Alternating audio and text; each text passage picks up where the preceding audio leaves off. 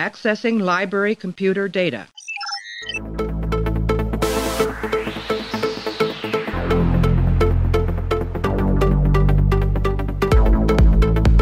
And to make sure history never forgets the name Enterprise. Hey, everybody, welcome back to the Pensky Podcast. If you haven't tuned in before, this is a podcast where we are running through all 178 episodes of Star Trek The Next Generation, giving our thoughts and feelings about each and every one. Right now, we're up to episode 19 of season 2. This one is called Manhunt. Uh, in this episode, the Enterprise must transport delegates to a conference, one of whom is an extremely man hungry Lwaxana, Lwaxana, let's try that again, Lwaxana Troi, with S for Picard.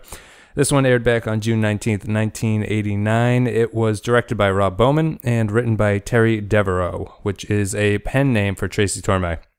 Um, this one, Clay and Sean are here to join me to talk about this one. So, right after this break, we're going to get into Manhunt. Starship Enterprise, come in.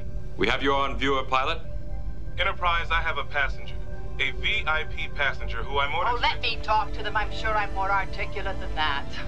Mother, Captain, we are receiving Starfleet orders granting a Lwaxana... Lwaxana Troi, a daughter of the fifth house, holder of the sacred chalice of Rixx, heir to the holy rings of Betazed. full ambassadorial status, sir. It looks like it's back into that dress uniform, sir. And yours as well, Commander. She is listed as representing the Betazed government at the conference. Mother, please don't do this to me. Do what to you, little one? Oh, Jean-Luc, what naughty thoughts. But how wonderful you still think of me like that. Hey, everybody, welcome back. Hope you enjoyed that audio clip. Uh, so let's get talking about Manhunt. We're going to be talking about Manhunt, the Star Trek The Next Generation episode, not the controversial video game from probably 2004 or whatever came out then. Wait, For is this- this not Manhunter, the Michael Mann movie? No, no, unfortunately. this is going to be a very confused podcast. And if you heard that voice, you know that I have gone out because I needed some men of my own to talk about this episode. So joining me right now are my associates Clay Nails McCormick. Clay, how are you? I'm doing pretty well. Uh, yeah, that's all I got right now. That's fine. And then on the other line, we have Sean Carlos Murphy from South America. Sean, how are you? I'm good, thanks, man. Did you did you dress up? You know told you told us you needed five minutes before we could start doing this. So I hope you put on a, a nice I- suit. I had to put on my white makeup so I convincingly pass as a South American. We're talking about Manhunt. Manhunt, which might be the greatest disparity between a cool name and what actually happens in the episode. Um, I'm going to tell you guys right now. Uh, I don't know how much I'm going to have to add to this because my page of notes is five notes and then a bunch of bad drawings of Riker. Riker Riker loves this episode. It's a um. All right, so I'm just going to give my quick rundown of what happens here. Uh, the, the Enterprise beams aboard some alien species that look like fish, and they're comatose, and they're trying to bring them to this planet to do something. They also run into uh, Lwaxana Troi, Deanna's mother, who makes her a return to the show after appearing in the first season. And she's entering some sort of alien menopause where she is off the charts sexually uh, looking to find a husband. And she sets her sights on Picard, who hides out in the holodeck for the second half of the episode. And then uh, everyone just goes their separate ways, and that's pretty much it. That is the entire rundown of what happens here. This Uh, episode should be called Star Trek DTF. Yes. It'd be a good spin-off. Uh, well, what the hell? How did I want to start this? I did have a, I think I had a track I wanted to go on. Oh, that's it. Um, if you, besides the fact that this episode features uh, Mick Fleetwood, the drummer from Fleetwood Mac, Where was he? he Who is he play? he's the alien. He's one of he's the front alien. The s- Front alien? yeah, the fish, the, the fish alien that's in the front of the transporter. Wait, wait, hold on a second. One of those fish aliens Is- was Mick Fleetwood. Is Hall Rock and Roll Hall of Fame Mick Fleetwood? Yes. He's gonna fire his Yeah. acting agent, man. He he should I mean, go he's his a own way. Huge Trek fan, and he lobbied to be on the show. So they're like, fine. They caved in, and they gave him a mask where you couldn't even recognize him. I think that they must not be Fleetwood Mac fans on the Enterprise. No. Yeah, that, yeah, that must just be a very It's almost like uh, when South Park was new and George Clooney wanted to be on the show, and so they made him a dog. Oh yeah. You know, it's it's kind of that sort of like South Park was doing it intentionally. I don't. Star Trek producers might not have been hip enough to know what Fleetwood Mac was. Um, what I wanted to say was, I guess I wanted to start this one off by, uh, this is Tracy Torme's final script. He wrote it under a pen name of Terry Devereaux or something like that.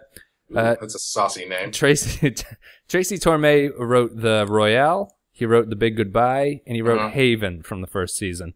Um, But he kind of wraps all of those things up into this one episode. he huh? does. And what I was thinking, I watched this one a couple times. I was thinking he left on bad terms. He was upset after the Royale with what uh, Maurice Hurley did to his script. So he reduced his role. He's only called a creative consultant in this one instead of story editor.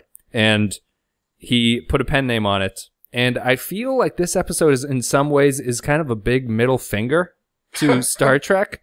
Um, and I don't know if that was intentional or he was just super lazy and was like, "Fuck it, I wrote about these things in two uh, two scripts ago. I'll just do it over and pass that in and get paid and get the hell out of here." What'd you guys think of the episode in general? Well, I, uh, I think I think we need to have some words either off off mic or on mic about these episodes you're having me watch, uh, because I've yet to I've yet to be present for one that was really good. we we had uh, I think Matter of Honor might have been one of the better ones. oh yeah, that's true. Okay, one, Yep. uh, I which is probably the ratio probably that you have watched good ones as well, having watched all of them. Well, uh, uh, maybe if people are if people are listening to this sort of live as they put them up, I took a week off, and a lot of it had to do with I was just I, I was running out of enthusiasm for these the second half of the second season, uh, which Mm. is becoming quickly quite bad. Um. Anyway, Sean, Sean, what do you think? Any rough thoughts? Oh, it, I know I'm the only uh, Lwaxana Troi fan in the universe. Yes. Uh, and I would love, love to defend her. And I think the problem with this isn't her. I, I, I, gotta say, I mean, obviously the episode was not great. Um, I think that her story happens to be the A story and it's the only thing that really pushes the story forward. Yep. Um, but yeah, it's, I, I would love to have a better episode to defend her to you guys, but this is a tough, uh, tough sell. You said any episode. This is it. It's a um, it's it's weird because Clay. It's kind of the thing we talk about there, uh, but it's a little bit of an improved version of stuff happens on the way to something. Yeah. Uh, this one's interesting in the fact that the, the the stuff that they're on their way to doesn't matter whatsoever. Yeah, it's a it's a stuff happens on the way to something, but the stuff that they're on their way to is is not any more interesting than the stuff that actually happens. Right, and I, like I have no idea what this conference is they're going to. Yeah. Um, this is jumping way ahead, but this has the most bizarre resolution to Yes. any episode that I could possibly think of. Yeah. Uh, that like I- you know, I was watching this episode and I I didn't hate it, but by the end of it, I just like I said about my my page of notes, I just I just couldn't find a lot of stuff to say really. Right. Yeah. Like it's not particularly bad. It's not uh really poorly written. Um I mean, I there's there's not really uh, usually what I end up doing when we when we when I'm on the show is is taking whatever concept that they put in front of you that they failed to squeeze the life out of and punching it up in a way that makes it more interesting, you know, because there's some elements that they don't take advantage of. Yep. This one is just sort of like, you know, aside aside from Troi's mom going on like a crazy hormonal uh, gangbang spree. Yeah, I don't really know what you could really do to push the story any further. This episode just sort of lay there like a dead fish, you know, to continue the sexual metaphor. It's just like I'm or, just or to continue the metaphor of the beginning of the episode. yes, exactly. Which Yep. I, I would like to say, the one thing I think that first scene is probably the best scene. Um, I don't know if it's a best quality wise, but it is definitely the funniest. Are you talking about the, when they the fish beam over, or what? What's the first scene? Yeah, yeah, when the fish beam over. Okay. Uh, because you have these these these costumes that looked like they were taken from like a Genesis concert. Yes. yeah. and uh, I, Worf has a good line about saying, "Oh, I've never, I've never seen such a handsome race," or something, Yeah. something like that. that that was a bizarre, Oh, bizarre thing to say. Yeah. The- Yeah. Sorry, Sean. Go ahead. Yeah, no, I, I, yeah, I thought this was funny as a series of vignettes. Like I was entertained by the jokes. I mean, a lot of the episodes are funny, but they're not supposed to be funny. This one was clearly written to be tongue in cheek. Right. Yes. I mean, there was very, very weak through line through it, but I liked each vignette as it was, and I laughed out, out loud a lot. Um, but, uh, I'm- I- I'm glad you admitted that because um, I thought it was s- genuinely funny sometimes. Like my idea for the peak scene is um, when Picard calls Data into his date with Lwaxana. Yeah. I, I think that's actually pretty fun. It's like like a legitimately funny scene. Um, Well, I sorry, I, I didn't mean I, I didn't want to interrupt you, but I just wanted to, set, to finish my, my thing I was saying before. My favorite, I think the funniest thing in the scene was probably not written to be this way, but after they beam the fish guys over and they they mention that they're in stasis and whatever, and uh, Picard says something to the effect of, uh, "Do you have a place you can store them until they wake up?" And O'Brien's like, "Yeah, sure." then the next time they cut back, they've just moved them to the side of the room. in in in the opening scene, O'Brien says, "I'll get them out of the way," and he literally just gets them Just- out of the way. he just pushes them like two feet to the side. But it's it's that's kind like- of sorry. Go ahead, John. when, when Lwaxana sees him at the end, she's constantly freaked out by these things, and she goes, "I like them better with sauce or something." Yes, they yes. look like sea. She says they look like seafood. I, it's so blatantly racist. And a race that doesn't even exist, obviously. But Well, in this one, it continued Wesley's through line of being the kid who's in the supermarket line who's like, "Mommy, why is that woman so fat?" You know, he he's constantly bringing up. He's like, "Ooh, these aliens are kind of ugly," and he's like, "You're pretty handsome for a Klingon," or whatever weird comments he had to Worf about that.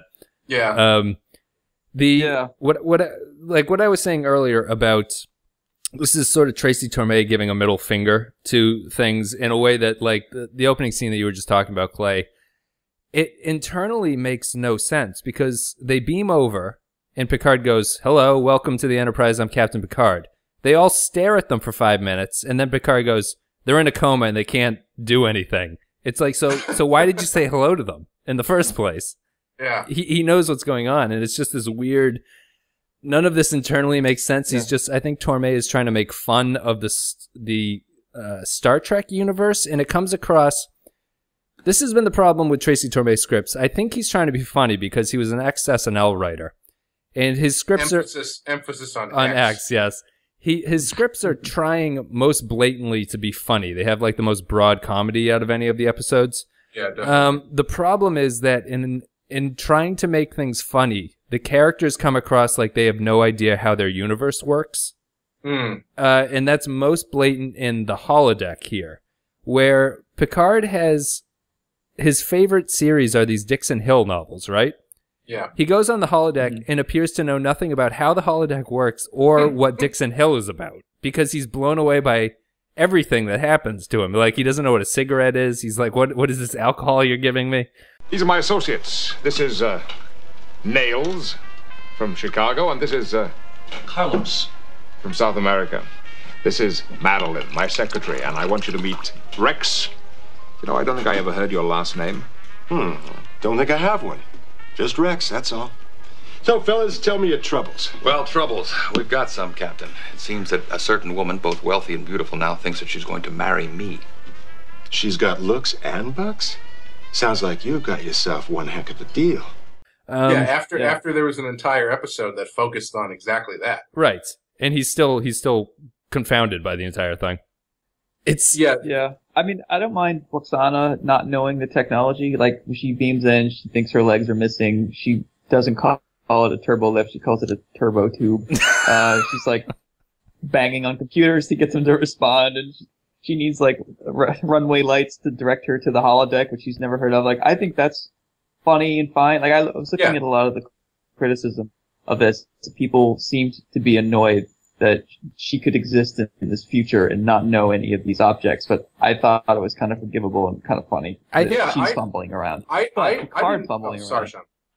yeah, But that Picard, was it. Picard's different. Say, yeah, I I think you're right. I think I don't think it has anything to do with her. I I, I actually, uh, you know, my my dislike for her character, I I is only based on that first episode, Haven, that she's in. Um, and I Yeah. that episode as a whole is kind of hot garbage. But uh, she, Yeah. I think she's fine in this. I think she's, you know, she's good. The stuff that she does with with Picard is good, and I, I like the. Uh, I don't, I don't have that criticism that you know her misunderstanding of technology is out of place because I mean, not everybody has been on a fucking starship. you know? Right. Yeah. Right. The- I, I guess the well, what do you guys?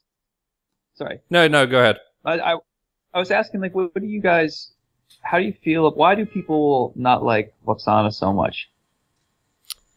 I can't answer that because I don't really know her that well. Um, like I like I just said, I, I I don't I haven't really found anything about her character specifically that Right. comes off bad, but I don't know what the overriding opinion is. I th- I think the problem, my problem with her would be that she is, she's a sitcom character inserted into the show. Yeah, yeah, I Um, see that. Uh, I agree with. she, I mean, she's really just the mo- the Yeah. bad mother-in-law cliche, Yeah. um, sort of come to life. And Yeah, Actually, actually, oh my god, this just occurred to me. You know who she is? She's the uh, you, you nailed it. She's the mother-in-law from Bewitched. as The, the, uh, the uh, uh, Samantha's mother, who is like the overbearing Yeah. witch character. yes, It's the same character. Yeah, Yeah. you're right. is it the same actor you're or right. just the same character? You mean? It's it's the, it's not the same actress. But Oh, it's, just, okay. it's the exact same setup of a character. Yes, I mean, Right. she, she just Yeah, she comes in, and no one's willing to put her in her place, sort of. So I, I Hmm. think that's kind of an annoying thing about her. And it's just I, I feel like her plots just aren't that interesting. Um, right. I mean, so far we've just had she wants to get she wants to get married, and, or she wants to have some kind of sexual relationship in both of the episodes. In Haven, she wants to set up Deanna with uh, her like betrothed or whatever. And in this one, she's hit menopause and just wants to bone her way across the ship. Yeah, I don't. I guess my my best, my favorite sort of uh, episodes of her are later on.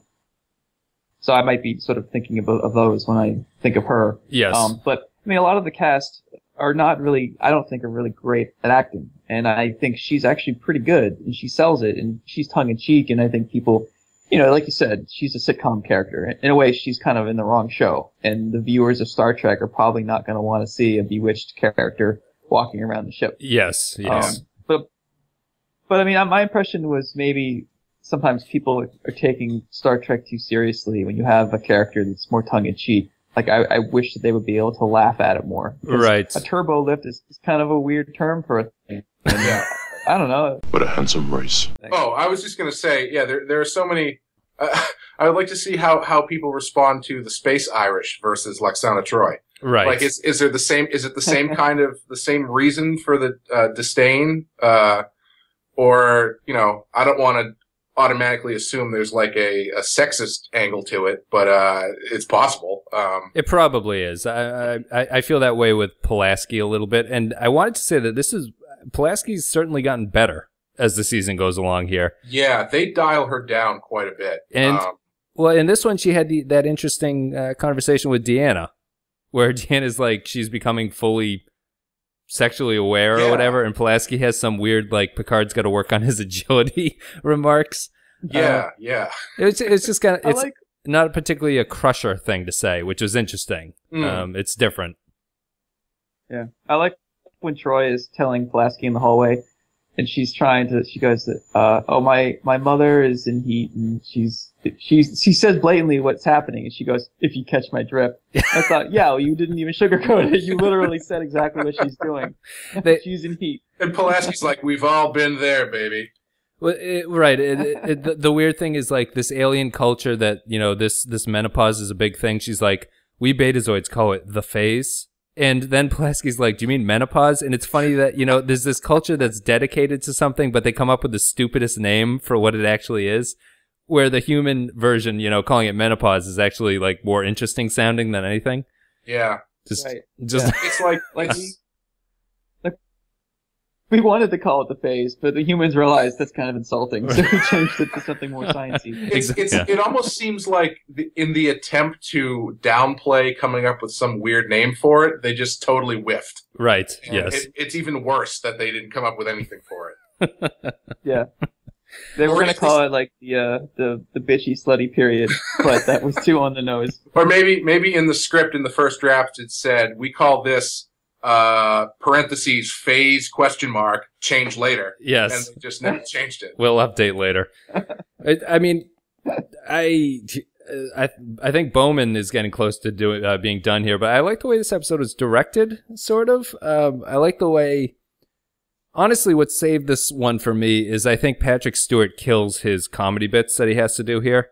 Yeah, Uh, he's really good. He has He's- two does real well. scenes. He has the Yeah. date with Lwaxana, and then afterwards in his ready room with uh, Riker and Deanna is a fantastic scene because Stewart is playing it like it's a horror movie. He has this legitimately horrified look on his face as Riker is beaming, um, and Deanna is just doing her sort of flat explanation of what's going on. Oh man, Riker in this episode doesn't do a lot, but there there are two scenes that are just like that scene where he when when Deanna Troi Yeah.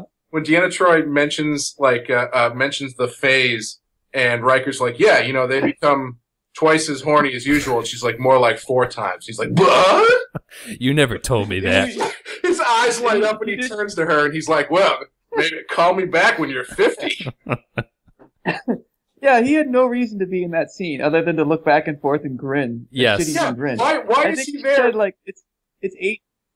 It's eight. Ti- yeah, there's no reason why he's there. She says it's eight times more powerful, and he just will not take his eyes off of her and even blink. Even my wife's watching with with me. She goes, Riker strikes me as somebody who's gonna who you would see on To Catch a Criminal, to catch a Catch a catch a catch a predator. what's that? Catch a predator. Yeah, yeah, yeah. catch a space predator.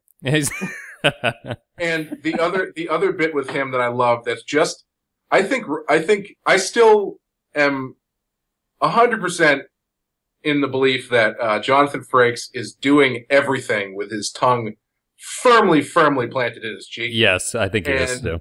Especially you can see it in the blocking that he does. And this one, I can't remember exactly what he says, but it's the first I think it's the first scene after the credits on the bridge. And Wesley says something sort of like questioning I think it's some sort of vaguely I don't know anything about women or sex kind of comment. Yeah. And Riker answers him, and he's like right behind him with his crotch right on top of his head. Like arms on his Yeah. hips, crotch pointed out right at the back of Wesley's head. Yeah, that, that was the scene where uh, Picard comes in and sort of like lambasts them a little bit, or gently tells them to like just because they shouldn't talk about an ambassador like that or whatever. And uh, yeah, it's a weird scene. He's he's Riker's basically mounting Wesley's chair from behind. He's, he's basically he's basically sa- he's basically saying, Wesley, do you like movies about gladiators?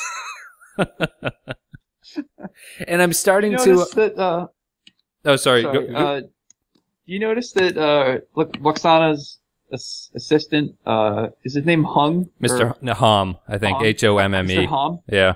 He's con- he's drinking the entire episode. Oh, He yeah. puts back like chugs five different kinds of alcohol. And he's- while he's He's sort of in the, background. in the It's background of scenes. He's drinking. It's like Yeah. when you just pay attention. He's like picking up the leftovers from the dinner and drinking the the glasses. And it, I I, mean, that's what I would do if I was hanging around with that woman. I know that's what I was thinking. If if she was like your master, he it's sort of a funny little joke that he can only get through it by just being shit faced all the time. well, I, it, it has that weird where he drinks like two gallons of that blue stuff in front of Picard, and the scene is like three minutes long, just watching him drink. or maybe it's maybe it's less that he maybe it's less that he's drinking to get through it and more that just, you know, hanging out with Lexan is a constant party. Yes, basically. I that that, that was going to be my other opening joke for uh, the episode, just being like, I'm I'm sorry if I feel a little down, but I was hanging out with Mr. Hom last night, and you know how that guy parties. He's I thought his name was Mr. Hung the whole time, and I thought, man, if she's really horny, why not just go for Mr. Hung? Mr. Hung. He's sitting right there. He doesn't talk. It's perfect. It's exactly what she wants. Maybe she'll. Oh, you know what I? No, It's funny you say that. Um, I noticed, uh, and I'm saying this for Tana, who's probably going to be listening to this. I think Lasana Troi is a bit sexist towards men. I think a lot of her lines, if you had a male character saying it about women, you'd be in deep shit. Oh, absolutely. Like she's think, yeah. she treats men obviously men are objects. She's like, oh well, it's hard to find a man to challenge me. Usually I know what men are thinking, and Yeah. oh I like men that are that are quiet, and you're too rough. She had all these kind of one liners that, uh, if you put it in reverse, if you had a man saying about a lady, then it would get you into right, trouble. Right, like her her line to Worf, she's like, "You're just primal and thinking violent thoughts," and it's like, Yeah. okay, like yeah. flip that around. She's sort of the um. she's kind of a version of the outrageous Okona in a way. Uh, she's like an interesting sort of gender flip on that idea. Yeah. Um, where she's Which then in itself is sexist because it's an older woman who no one wants to have sex with. Right. She's, yeah, she's too aggressive. and every everyone wanted to bone Okona, even Yeah. the men on board. But this is the complete opposite. And uh, you know, Picard is willing to sort of waste his time doing nothing. But I I I think I I liked your point, Sean, about this. Um, the episode felt like a bunch of vignettes that didn't really amount to anything by the end of it. Uh, the biggest vignette is just Picard completely changing uh, tack and going into the holodeck for the second half of the episode, yeah. That was so weird. where he he doesn't accomplish People tried to shoot him three different times, and he's just kept hitting pause. Rewind. that, that uh, it, it didn't occur to me in exactly the way you said it earlier, Wes. But but I I was thinking the same thing where he gets there and he doesn't have any idea what's going on. Like it, In his favorite program, yeah, he doesn't know why people. He's like, well, this people keep keep showing up with guns. It's, uh, it's I picked this 1940s crime uh, crime thriller. crime Yeah. noir. I don't know why people keep trying to kill me. What can I do for you, Mr. Bender? It's about Alva. You'll have to be a little more precise. Okay, you want to play stupid. That's Jake with me. A week ago, a man came in here. He wanted you to find his girlfriend. Name's Alva. Did I find her? You know, you're getting on my nerves. You found her all right, face down in the river. Oh, I'm sorry to hear that. Yeah, yeah, we're all broken up about it. Especially the boyfriend, who's been indicted for murder. And what are you here to do? Ask for a refund? Nah, I'm here to kill you. Computer, freeze program! After, after the first attack, he's like, "Oh, computer, let's mellow it out a bit and let's, you know, let's redo this." And then this even more scary, dark, shadowy figure is just walking in, Puts him And in a chokehold, yeah. scene go on. He should, he immediately should have said like, "Pause." Like, clearly, this is not going in the right direction. I I, I, did like that scene. I yeah. did really like the third bit where the guy just kicks open the door with a machine gun. That was pretty good. And Picard flies against the wall and it's just like computer. You may continue. Thank you. You're true ducking me, Hill! Computer, freeze program! I, I enjoyed that scene, and in in between each thing, he's sort of resetting his tie and everything, and like we'll Yeah. we'll, we'll start it again. Uh, he he does a little bit of a pratfall when the second guy, the computer disappears it, and he like falls onto his desk because the Right. guy's been holding him up. Yeah. Um, It is a little out of character for him to just start hitting on his secretary. I gotta say. I I noticed that too. He pushed. It's Well, I, okay, so I think that in there you have a, it, uh, uh, uh, not being consistent with what you're doing with him because it makes sense if what he's doing is playing the character. to the to the theme of that character. Yeah. because he, I mean, you know, that's what those characters do in those stories. Yep. But if you're putting him in there and he, you know, clearly, clearly the only thing he, if you hadn't seen the first episode where he goes in and does all that stuff, you'd think, oh, he just goes in here and likes to sit behind the desk quietly and has no idea what these books are actually about. Yes. He never made, he never made it past the 10th page. And and that was a weird thing because when he shows up to go in there, he he sits behind the desk and puts his feet up like he just wants to get away from Troi, and he's just going to sit in this office for a little while. Uh, Yeah. and he seems Yeah. annoyed when you know the book, the computer's like, well, the book does this, so these people are going to have to come in.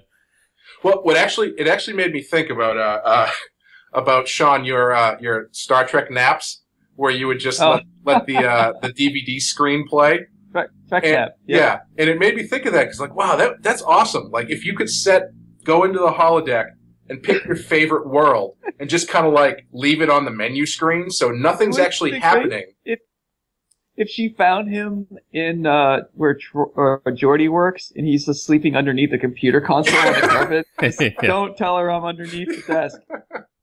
No, yeah, just that that idea that of big blue like strobe light engine thing. that just the just that idea of like putting in the program but never picking anything, just leaving it on the menu screen. yes, So yeah. you have the world Yeah. there and just kind of get the sounds and everything. That that's kind of cool. I like that. Look out the window. You need to just slats. like instead of sounds of the rainforest, sounds of 1930s San Francisco street or whatever was outside the window. Yes. Yeah.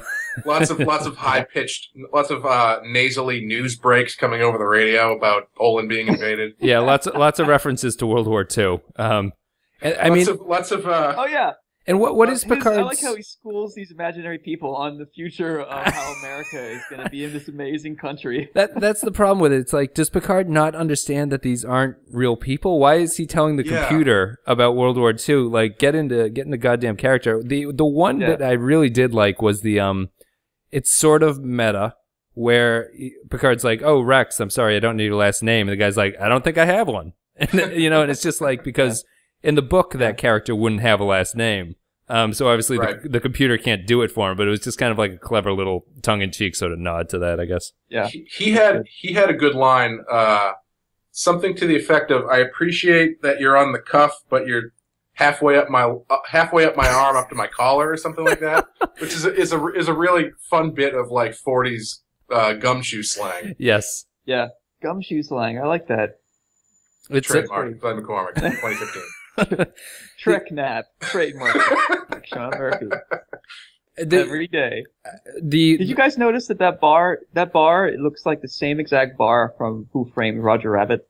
yes, it, it sort of does. It's also uh, it's probably the same set that was used in one one zero zero one zero zero one, which is the jazz club. Uh, I think it's sort of the same thing. Yeah. Oh yeah. Reusing. Yeah, but it looks like some cheap Paramount lot yep. set that they just have on. Yeah, they throw throw a bunch of Oh. dust on it. another another little tiny thing that I really appreciated. Uh, I think it's also in maybe that first scene on the bridge after the credits. Uh, someone tells a joke or something, and everybody laughs, and Data laughs too, but he laughs like a robot. He kind of just goes ha ha ha ha. I. I kind of got a uh, something was unhinged with Data in this episode. Um, when Yeah. when Picard invites him over, Data has this like it cuts to Data sitting at the bridge science station, and he has this weird look in his eyes as he's like, "Yes, Captain, Yeah. I'll be I'll be right there." and then he was extremely excited to It's like explain. pointing in different directions. yeah, he was extremely excited to explain the brown star thing or whatever Picard was wanting him to do. He's like, "That is a fantastic story. I will tell that." I like when Picard's like, if your duties permit, maybe you could come by and blah blah blah. I, what if Data had said, actually, I'm really busy? Picard would be like, you know what? Drop what you're doing, Data, and beam here immediately. A Romulan warbird just uh, decloaked off the starboard bow, Captain. I have to stay on the bridge. He's like, no, no, no, no. Bring, uh, bring Mister Homn another bottle of liquor. Did you? You notice that when Mr. Homn was referring to Geordi, he put his fingers over his eyes. Yes, vaguely offensive. visor.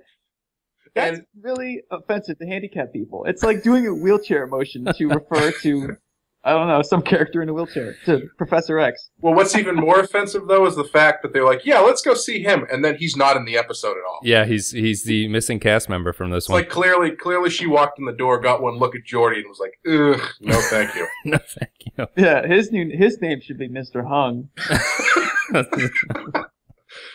Oh boy. He's he's no no Wesley. Wesley Wesley will grow up to uh you know one day he'll be a big strong man. I, I was vaguely uncomfortable when when that was going to happen, but Oh yeah. she's You know what they should have done? So at, uh, when they get to the, the piece at the end where apparently Riker doesn't like to play along and he doesn't want to get into a cool suit when he goes to the 40s. Um, oh well, explain to me why Data got dressed up. I think Data just really likes the holodeck. because, I mean, he and Geordi do that Sherlock Holmes thing that they get in full costume for. I think he just enjoys it. Well, I mean which his is, which his is really interesting on like a like to that Data as a that's- person yeah, level. That's kind of breaking my mind a little bit. Thinking about Data as a robot, really enjoying play acting as a human inside a fi- uh, and now I've gone cross-eyed. Well, he's How um imagine Data's robot? He doesn't enjoy anything except for oil or whatever. yeah he enjoys this nutrient. I think that that character he he's playing the same character he played in The Big Goodbye, the uh, the South American Carlos guy. Oh, nice. So he gets a chance to Yeah. re- revisit that character. I don't know where. I mean, I, I sort of get the pun that Riker would be called Nails, but I don't understand why uh, it really would happen. Um, I don't know. I don't know why Data gets dressed up. He doesn't even have a line when he gets Yeah. into the bar. Um, I have a I have a theory about why. When he when he walks in, his shadow is cast against the outside of the door. Oh. So the you know, the bartender's like, uh oh, and they think it's gonna be you know Knuckles McGee or whatever. Yes. the, the, the collector. And then you walk in, it's Data. Like I would imagine that they might have shot more of a scene with some more dialogue, but they might have cut it out so that ended up not amounting. To Yeah, maybe. I I because I could I could see comedy in that, but it's I think that might this episode might have the most tenuous link. Uh, you know, some episodes don't have a link between A and a B. This one sneaks in a slight manhunt Dixon Hill thing where they're searching for a guy, and it's this weird, like pseudo intentional link that you're like, oh, both of these are about f- trying to find somebody, and it's like, what what Yeah, a pointless I get. Well, I would. That's tough though, because I wouldn't even call the Dixon Hill thing like a B story, because it, it. It sort of Like, becomes the A story in a way. Well, it's not even really a story though, because he's just kind of hanging out there. He's Yes. not doing anything. Yep, yep. Um, and it's like I was I was kind of looking for that in this episode because like the the the A and the B story are really the A story is Lwaxana Troi in Heat, and the B story is waiting for these fish guys to wake up, Yes, yeah. and which you know ties together oh so neatly with uh, Lwaxana Troi being like, oh, that they're assassins. Um, Get them out of here. get them out of here. Control S. I'm done writing for the day. The the fish thing is fascinating because along with the thing like we were laughing about O'Brien just sort of moves them off to the side. Um there the whole mission is to pick these guys up, right? And P- Picard goes, uh, "Doctor, do you have space for them?" She goes, "No. Uh, I'll put something together." Why why don't they have space for them? It's the whole point of the mission is to pick them up and transport them around. Well, they did have space. They had a nice, cozy corner off the side. But then she. Do you think he pushed them physically, put shoved them, or do you think he beamed them three feet over to the left? I, I think he flipped them like tires. Like he sort of rolled them over themselves, and they just ended up there. But um, what was weird was like a caber toss. yes, exactly. and they, they just stuck there. The um, it's sort of a weird difference, but uh, I, I liked how the preparation for them in sick bay is they just lay on the bed. I don't know what else she had to do, but she puts them on the bed. Uh, the effect where his eye blinks was actually pretty good. Did was you? that CGI? I think it was. And I couldn't tell. it was like seamless. I, I was shocked by how sort of good it looked. Um, Well, the camera wasn't moving at all. I, that could have been not something as complex as CGI. That could have been something very simple. But if you just keep the camera steady, it, Yeah, it might have just it might have been been a freeze a freeze shot. And you just have this like, yeah. yeah, quick optical. Or something. I mean, that, that it's Yeah. just in terms of like if you're trying to produce this show, what a waste of money these alien outfits were. they don't they don't even do anything. Um, I don't really know if you the, could. the whole the, the, the thing that gets me about this episode is like these shows cost a lot of money to make. Over a million dollars in 1989. Oh, sorry, I didn't mean it, but that's ex- super expensive. Wait, how much? Th- Yeah. These were over a million dollars each in 1989. Fuck you. And imagine you're you're a stage crew guy and you're like, hey, why are we building this bar? Well, Picards can be here doing nothing. Hey, why are we putting Data in this suit? Eh, no reason. why is Riker's leg up near near West? I don't know. Like, why are these fish here? Like, eh, maybe they'll be terrorists. Like, there's so many pointless, expensive things that happen, and I cannot believe someone spent this much money E- on a script that just didn't go anywhere. even the uh you know to confound the pointlessness the pointlessness of them bringing food along which amounts to absolutely nothing uh, Wesley is sort of a nosy little bitch and is like digging around in it when they beam over, which seems like it's an invasion of privacy. Um, and then when they feed it to them, why does Worf just stick his hands into it and then like pulls up a big pile and then just carries that off? I didn't, I didn't understand any of that. I, I guess just showing him it was there or something, so you can see how they're how they act like animals. How they're I don't know. disgusting when they eat with their wet Yeah. smacking noises that made me want to vomit. It's disgusting. Why do you think? Uh, what did you think about Wes admitting that Worf is kind of handsome for a Klingon? Uh, I think some of Wesley's strongest scenes are when he's with Worf. He hasn't had many, but they're kind of a good pairing at this point in the show. Um, Yeah. it's a weird, weirdly sexual tension when he's wearing his little camel toe outfit this episode. um, so it's a little bit awkward, but outside of that, it's it's not too bad, I guess. Yeah, they, You're right. They do have a connection. I'm thinking about later episodes too, where there's a weird. They, they don't doesn't really go far, but it's nice knowing like the most aggressive character embraces the wimpiest character. Right. I, I do find that a little bit weird. Yeah. yeah, and, and it works. It works too because uh, you know, on, on as far as the crew of the ship goes, he is the most.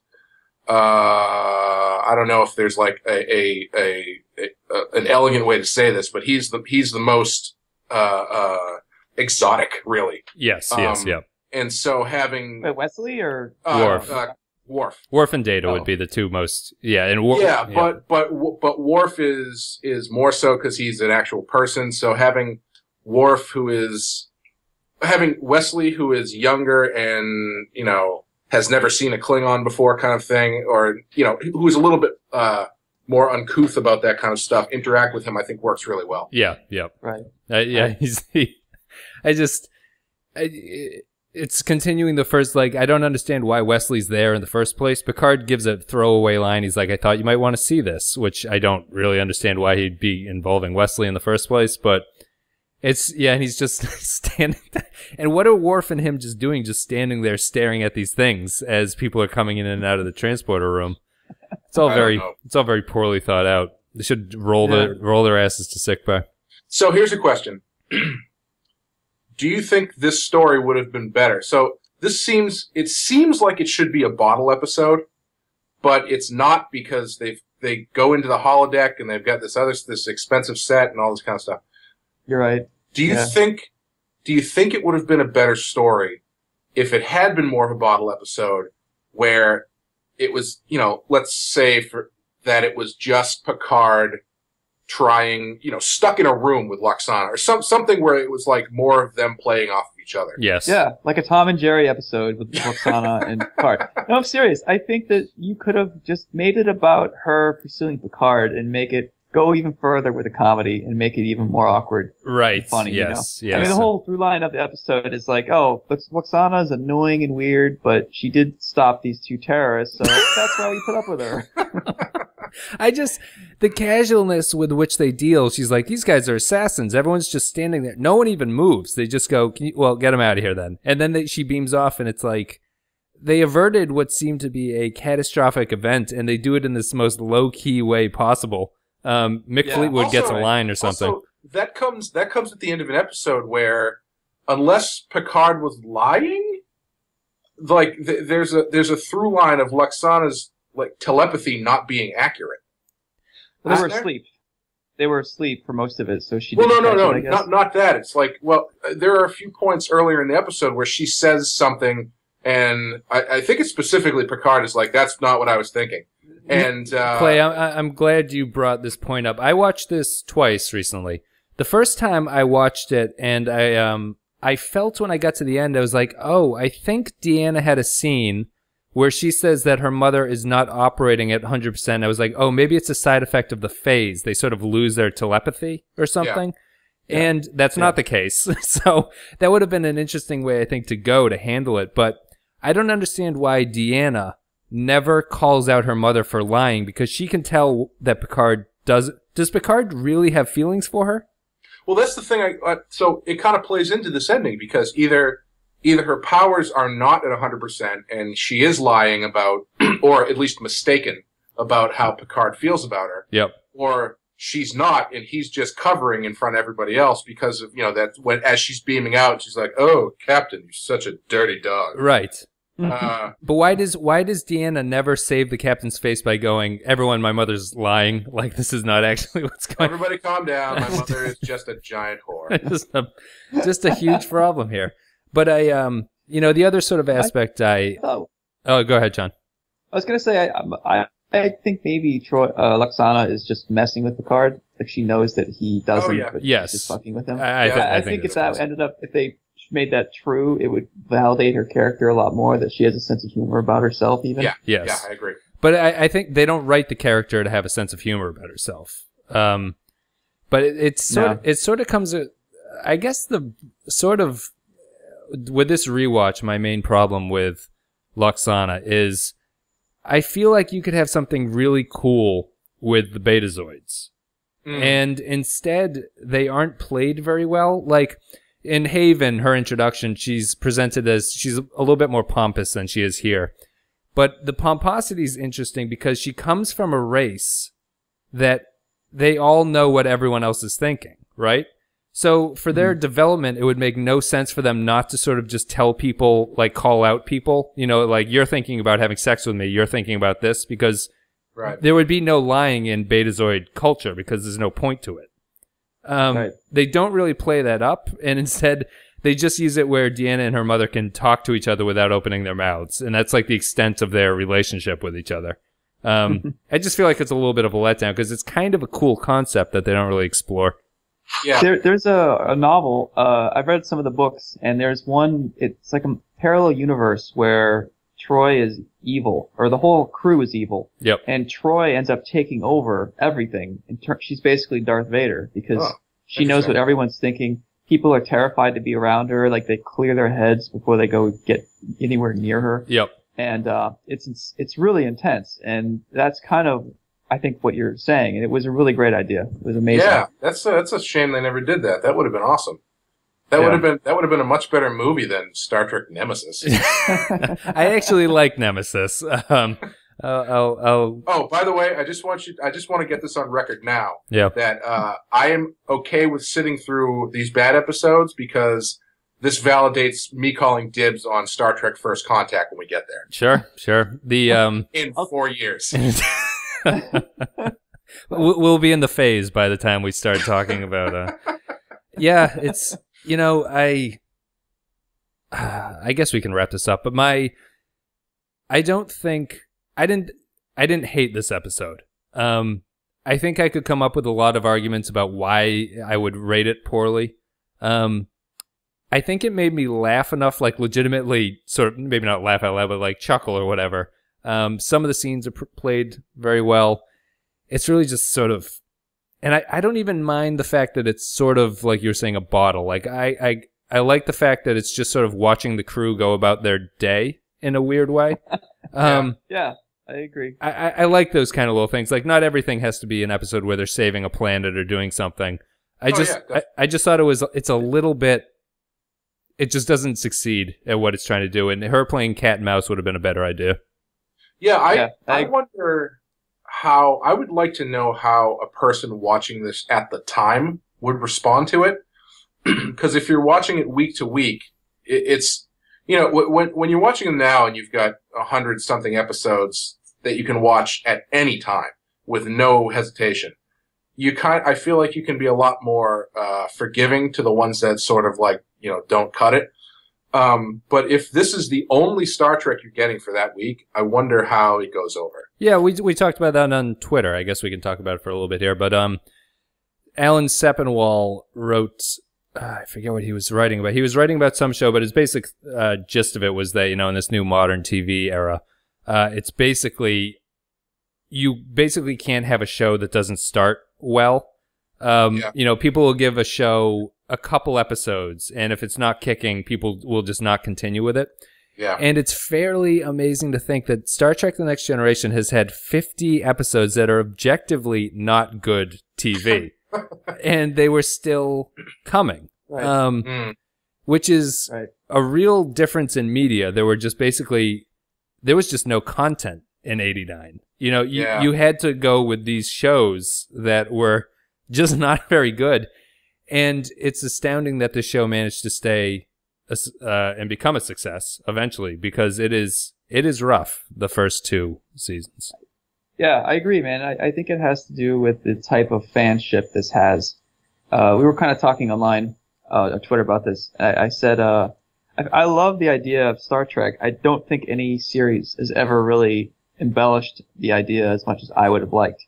You know, it's Yes. like the, if you read the idea on a piece of paper and get the sense for the characters and what Roddenberry was going for, it's almost like believing in a religion in a way, like hope. It's pushing the hope.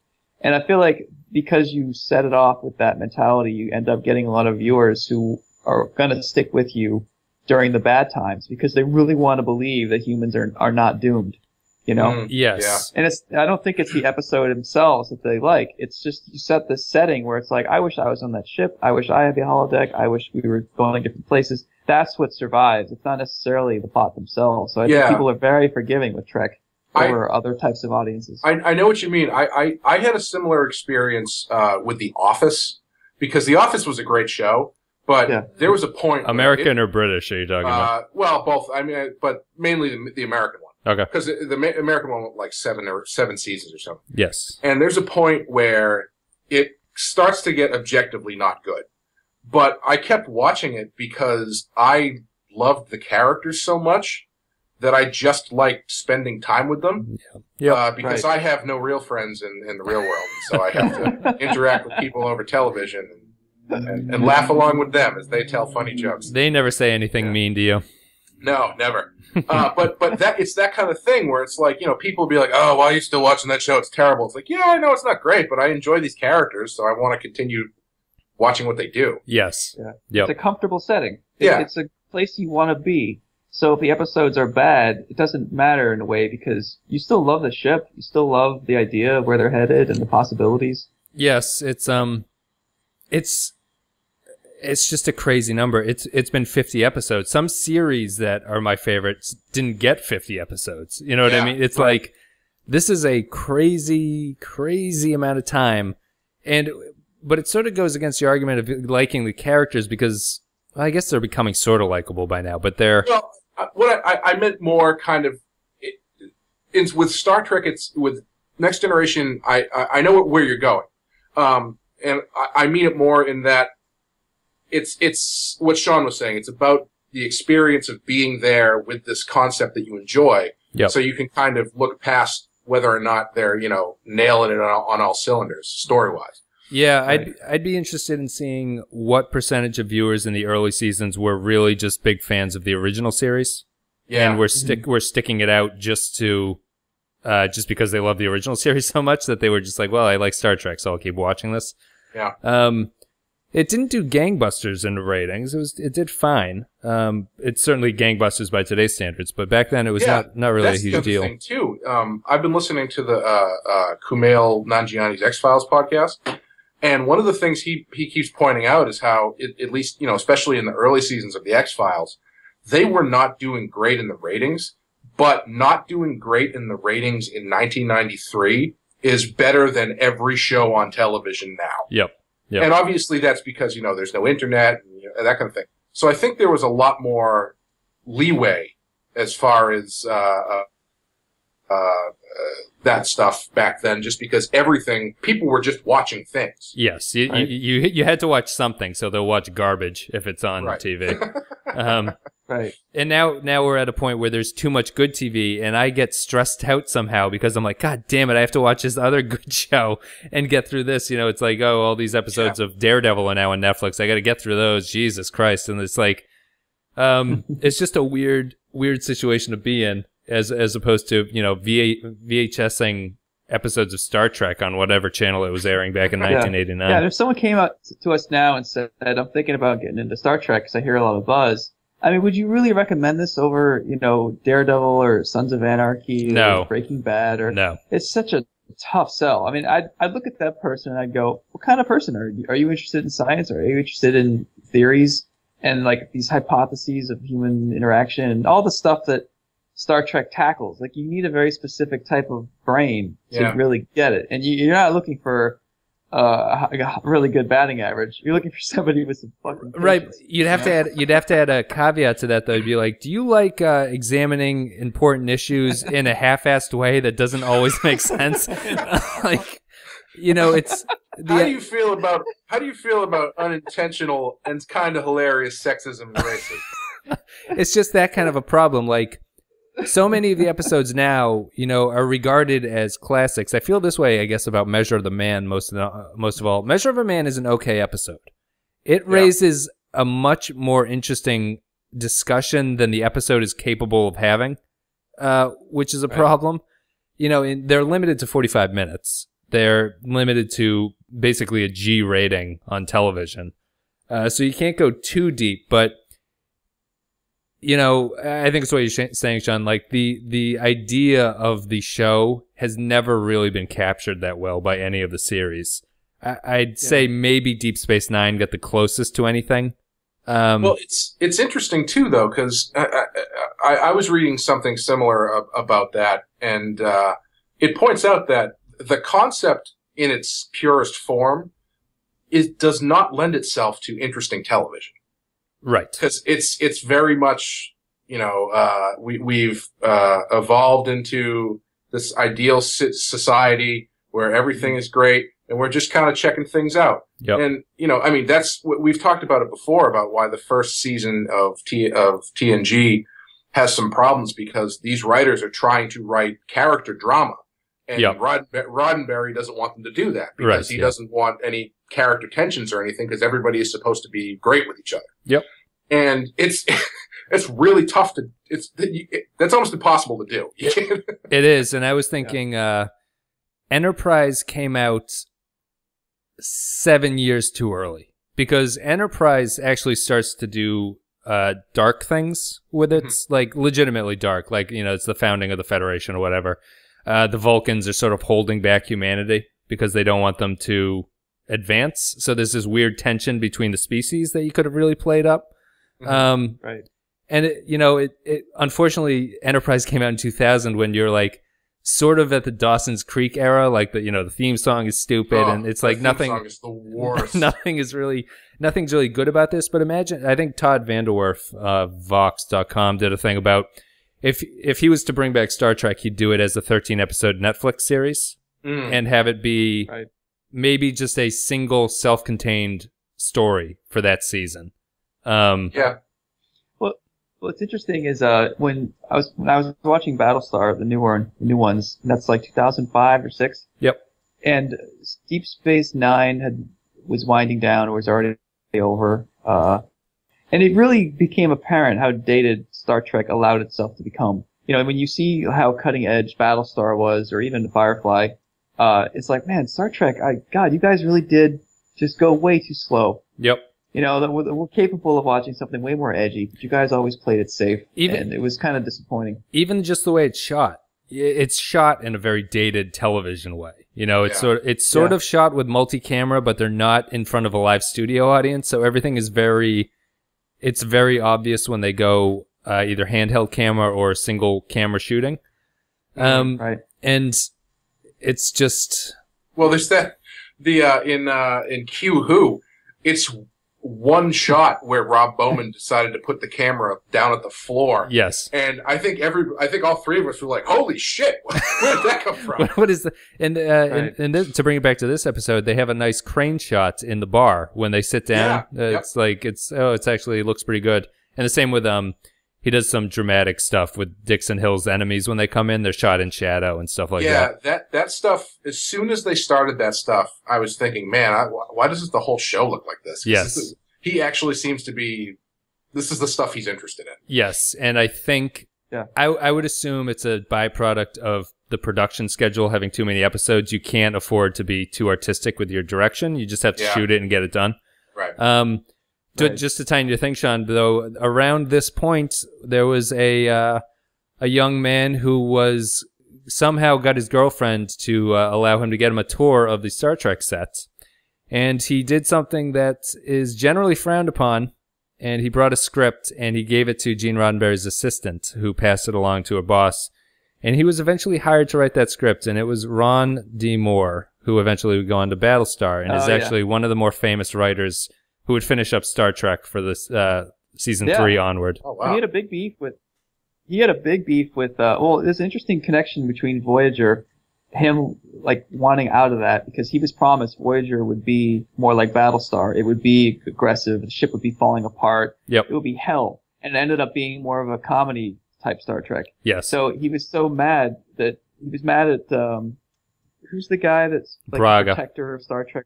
Brennan. Chakotay. Yeah. well, there's Berman and Braga. Brennan You Braga. mean Chakotay. Yes, that's Yeah, sure. I'm, yeah, yeah. Shorman, I think, was the one who tied the thing around Roddenberry's statue. He had like a blindfold over Roddenberry's bust in his Oh. office. oh really? Oh, man, I know we're going along here, but so uh, he had a bust of Gene Roddenberry in his office, and um, what's his name? Sherman. Berman. B E R M A Berman. Sorry, Rick, Yep. Rick Berman. Yeah, Rick Berman. So after Roddenberry died, they the writers started pushing him to get more, more aggressive. Like, let's have characters argue. Now that Roddenberry's gone, God rest his soul. Yes. let's do some good, good writing here. And uh, he's like, no, and he just kept fighting to protect Roddenberry, and eventually he felt like there was such a compromise that Roddenberry wouldn't like what the show had become, so he tied a ribbon around Roddenberry's eyes on Just- his bust. just to not see it's- I guess it remains there to this day.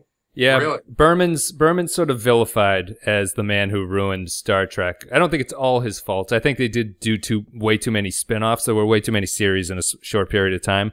Mm. Um, Right. but he refused to really update what the show was at that point. And you know, Yeah. TV's changing in the late '90s. Things are like, not that Star Trek's like Oz, but you're starting to get the HBO dramas and stuff like that. You know, like they, they should have a prison rape scene in Star Trek to really Man. bring Oof. things home.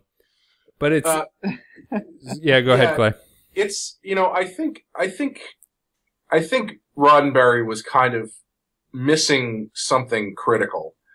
I understand his idea that he does he he has a certain vision for the human race, et cetera, et cetera. But I think you can have both. I don't think it has to be one or the other, where it's either everybody is on the same page and lovey dovey, or it's all you know, uh, no lights and shooting Yes. people Right. because yeah, the yeah. thing is your story at the at the at the end of all this is still about people and people are still people and they're just because they're not all going to act the same way right. so I, I, I you can still get the drama that just human beings will supply inside this core this core concept it's it's not mutually exclusive Yeah. Yep.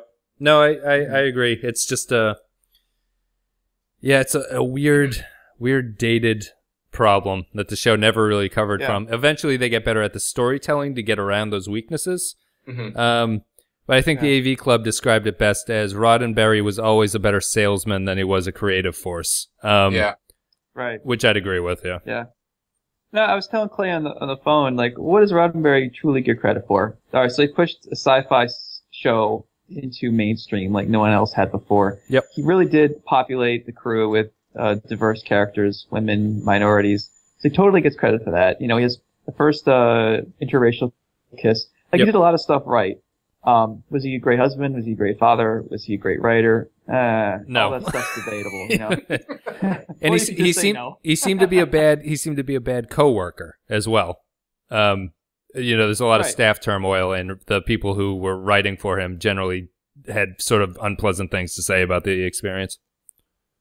Yeah. Right. Yeah. not to that totally documentary his son made was amazing. Yes, Yeah, that's that's a really good, really good watch. Not to totally uh, tear the guy's history and legacy to shreds, um, but did you guys see that uh, Scientology documentary? hmm There's there seemed to Not be, uh, from what I know about Roddenberry in his later years, there seemed to be some sort of a slight parallel to the way uh, L. Ron Hubbard was doing things. Because didn't Roddenberry also start doing like touring uh, college campuses, talking about like the the the ideas and the futurist ideas of Star Trek and stuff like that? Oh, I he find put it yeah. I find it interesting that, like you said earlier, Sean, it's kind of like a religion, and it's it's it, it kind of is not in the sinister Yeah. way that Scientology uh, developed into, Yeah. or supposedly sinister. I you know don't don't sue me or anybody. I have no money. podcast is over. No, it's We're gonna phase Clay out again. Turn his microphone down. I, I mean, and when you when you look at them, uh, Roddenberry has bears a striking resemblance to Hubbard. They sort of look the same. They're like this sort of jolly old, uh, you know, Rudy faced uh, salesman who Yeah. you know are, are just going about this thing. It's it's a very odd sort of weird situation. Yeah, no, that's a good point. But what do Yeah. you what do you guys? Uh, I think we'll wrap up because we're just hitting an hour. So we will play a clip and then come back with our ratings. We thought since you were going to the same conference, you might like to beam down with the other delegates. Oh, they're not delegates. Those two are assassins. That is an outrage. Lies. We demand you transport us at once. Don't bother to deny it. Your minds are so unsophisticated, I can read your thoughts in my sleep. Oh, their robes are lined with ultritium, highly explosive, virtually undetectable by your transporter. She is correct, sir. I am detecting large amounts of ultritium. Well, of course you are. They were planning on blowing up the entire conference. Mr. Worf, take them to level five. Disarm them. Hold them for questioning. Aye, sir. Ah, well, I didn't find a mate, but I did save the conference, as well as your reputations. All in a day's work, I suppose. Goodbye, Mrs. Troi. And thank you.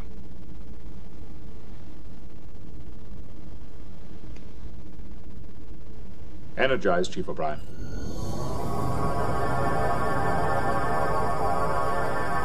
Jean-Luc? Shame on you for thinking such a thing. So, would you guys? What would you guys give this thing out of a uh, one to five? Oh, I'd, I'd go with a three. Really? Yeah, I mean, Wow. you know, I or, or let's say two and a half. I mean, I feel like it's right in the middle where I didn't hate it, Yep. and I mean, I didn't. There's nothing that stood out to me as being objectively bad. Yep. Uh, it was kind of inoffensive all around. Um, yeah, I mean, I enjoyed I enjoyed some of it. Some of it was funny. Uh, yeah, I, if there's like a uh, like uh, an idling, uh, whatever your idling rating is, that's Right. probably what I would give it. Okay, Sean, what do you think? Yeah. Uh, I'd go with two and a half as well. I, it's a bad episode, but it's got a lot of charm for me. I think Lwaxana is able to get other characters to react in ways that no other visiting character gets. Uh, you know, I think she gives her daughter a lot to do, and she gets reactions out of Picard and all that stuff. I love it. And uh, even even though it's not a great episode, I kind of appreciate how it just goes like balls to the wall with, with how gloriously bad it is. It doesn't really make any apologies. It's like you see the and you don't even try to slow down. Right? No, it, it does embrace what it is. I embrace it for what it is. Yeah, yeah. Well, that's funny. I, I thought I was going to be considered generous. I'm, I'm going to give it a two. Um, it's it's like we all, we've all been saying. There's enough here that it's not a horrible uh, trudge. Like the idea isn't particularly offensive enough to really boot it down to a one. I think it has some narrative problems and it has a couple, you know, sort of weird. It's really just a bunch of vignettes that are held together by the loosest of terms.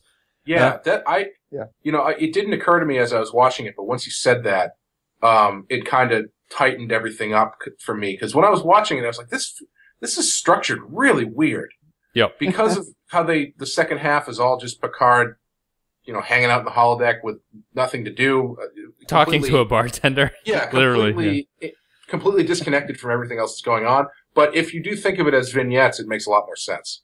Yeah, yeah, and some of them are good. It's like a sketch comedy show. You you know you remember the great ones, and then there's a lot of garbage in uh, you know sketch shows. Once you once you move past remembering all the great sketches and you watch reruns of sketch shows, there's a lot of filler material. Oh, yeah. just Oh, yeah. Uh, just the nature of the beast. For me, th- this this might be the most laugh out loud episode of the entire series. For, you know, I'm curious to count like how many times I actually laughed genuinely, and I bet you this is up there as far as laughing. And I know that's not what people watch Star Trek for, but Yeah, it yeah. might be an award winner for me just for the funniest episode. The only for one, better or worse. only one off the top of my head that might challenge that is Data's Day, which I think is has some legitimately funny moments in it. And this one doesn't even have Joe Piscopo. No, absolutely not. Don't need him. Don't need him. There's one where uh, Worf, Worf is in the Old West with his son. Oh, I hate that episode. too. oh man, Oh, a oh, fist, man. a fistful of datas. Is that the name of it? Yes. Yep. I would I would like Go to to also Brent say Spiner with fake, He's got a mustache. Oh lord. yeah, Yeah. Yep. and like a fake, fake, fake breasts, but they're Yeah. clearly plastic. Wait, does he like play everybody? The computer sort of multiplies him on the holodeck, so he plays all the characters except for Worf and like oh, Alexander, I think. Oh boy. Yeah. I uh, uh, uh, one last note on this one though. I would like to say again, if this is a season one episode, this episode's unwatchable.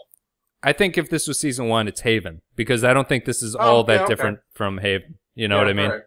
Which is, which is either interesting and I guess it shows you how much you can improve on a concept if you give it a, get a second shot. you Yeah. know what I mean? Mhm. Interesting. Well, thank you guys for coming on. Thank you for talking Star Trek. Yeah, thanks, man. Yeah, anytime. Good to talk. We, uh, I'll be back.